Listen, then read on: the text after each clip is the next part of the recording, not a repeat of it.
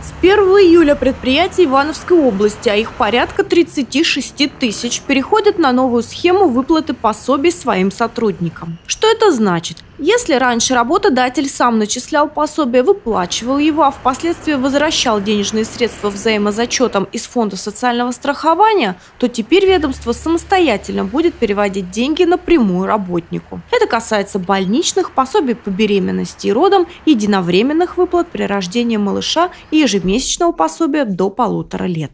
Теперь также работник предъявляет больничный лист своему работодателю, тот э, необходим, заполняет необходимые графы и передает информацию в электронном виде к нам в региональное отделение. И уже мы, мои работники, э, начисляют, производят расчет, проверку и, соответственно, сами выплачивают напрямую на расчетный счет или э, через почту э, работнику.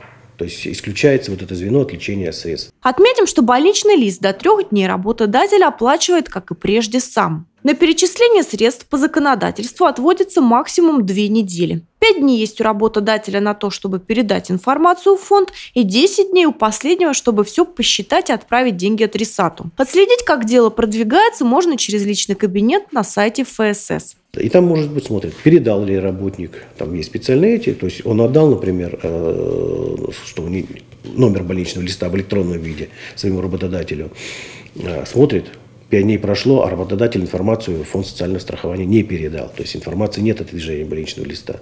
Или не ввел в эту базу, соответственно. Ну, вот он идет уже к своему работодателю, скажет, слушайте, а почему не передали? Где денежки? Соответственно, когда он смотрит, ага, передано в фонд социального страхования. Ну вот ждет максимум там через 10 дней, если э, нет движения поэтому, ну, набирает трубочку, Игорь Валерьевич, почему мои денежки, где они, да? Ну, обычно там уже начислено, перечислено по расчету на, на, на реквизит расчетного счета такого-то. То есть все можно отследить прямо вот, как, ну, на самом деле онлайн.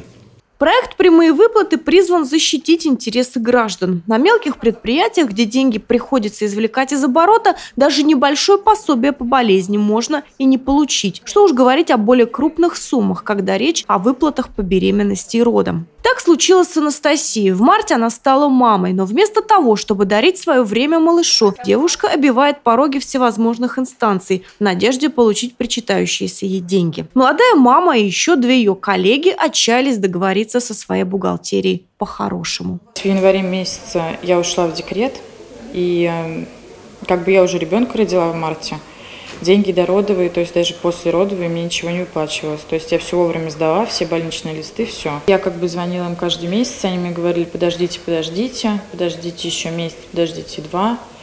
Мы все подали. Я сюда приезжала еще беременная была, узнавала, подавались ли документы. Ну вот, нет, ничего не подавалось по поводу нас. Анастасия планирует обратиться в суд. Прямые выплаты подобной неприятной ситуации исключат. Естественно, если предприятие работает легально и производит все необходимые отчисления. В настоящий момент на базе фонда ежедневно проходят обучающие семинары для бухгалтеров. Новая схема заработает со следующей недели. Елена Белова, Денис Денисов, РТВ Иванова.